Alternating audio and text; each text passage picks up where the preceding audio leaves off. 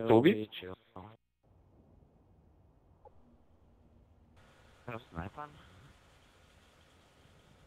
Oh. Because if you hit it and I use it, they're gonna say Destroy the objective.